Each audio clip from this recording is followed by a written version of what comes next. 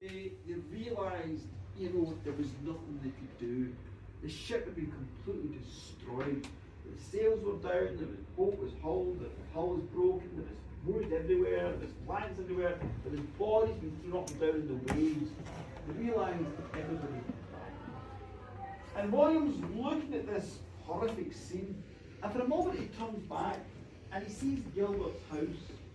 And all the lamps are lit in Gilbert's house, and the front door is open, and Gilbert is standing in his front door, and he's got a smile on him. And William says to him, Are you helping or are you looking? And Gilbert said, I looked, there's nobody to help. And that he turned around and it was